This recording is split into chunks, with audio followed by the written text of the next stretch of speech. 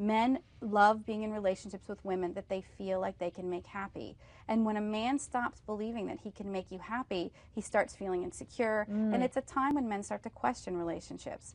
And women need to give men positive messages regularly that they are happy and that they can be made happy. His principles are something that can change everyone's life. They've changed the way that we parent, they've changed the way that we relate to each other,